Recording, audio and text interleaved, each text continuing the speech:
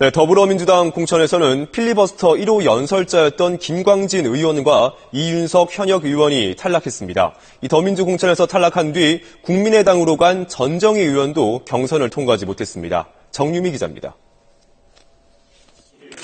어젯밤 늦게 발표된 더불어민주당 4차 경선 결과 전남 순천의 김광진 의원과 전남 영암 무안 신안의 이윤석 의원이 탈락했습니다. 두 현역 의원 대신 노관규 전 순천시장과 서삼석 전 무안군수가 더민주 후보로 나서게 됐습니다. 대표적인 영입 인사인 김현중 전 통상교섭본부장도 경선에서 떨어졌습니다. 서울 송파병에선 남인순 의원, 국민의당 안철수 대표의 지역구인 노원병에선 황창화 전 국회도서관장이 더민주 후보로 공천됐습니다. 국민의당도 처음으로 경선 결과를 발표했습니다.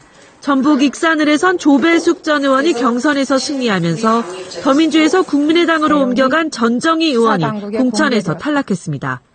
어제 처음 치러진 수기 배심원제에서는 광주 북갑의 김경진 변호사가 김유정 전 의원 등을 누르고 국민의당 후보로 공천됐습니다. 국민의당은 어제 창당 46일 만에 원내 교섭단체로 등록했습니다.